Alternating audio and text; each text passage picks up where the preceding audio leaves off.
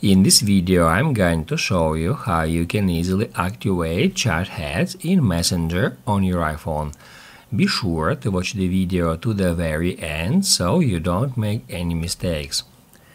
Let's get started guys and first off we need to open up Facebook Messenger app.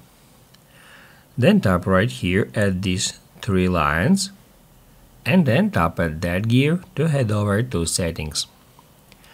On settings, we need to scroll down until we find notifications and sounds. Here, first off, we need to make sure that show previews option is activated, like in that case. And also, if here do not disturb is active, like in that case, all you have to do is just turn it off. So you need to configure both of these options like now you can see in that uh, case. Then we need to close Messenger and then we need to head over to settings.